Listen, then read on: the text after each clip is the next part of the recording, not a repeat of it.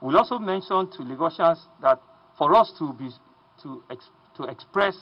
uh, uh, seriousness of all of these directives we've given, that we will be setting up um, a hotline for uh, whistleblower, and I'm happy to pass on the three telephone numbers that we've, we've set up for whistleblowing, for people to complain if they think that the companies are not keeping to the social distancing or the physical distancing that has been stated, or if buses are not complying, or if markets are not complying, we have people that would that we have numbers that we can we're going to give out now, and people can call to complain, and we'll come and take um, the necessary um, steps at clamping down such facilities. So the numbers are 0901 051 3197 um, 0, 0901 051 3197, 3198,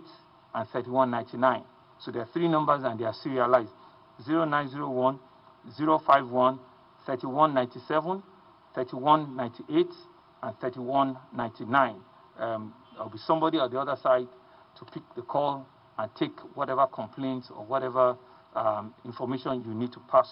um, to us, we can be rest assured that your confidentiality will be kept and appropriate sanctions will be meted to people that flout any or all of these regulations.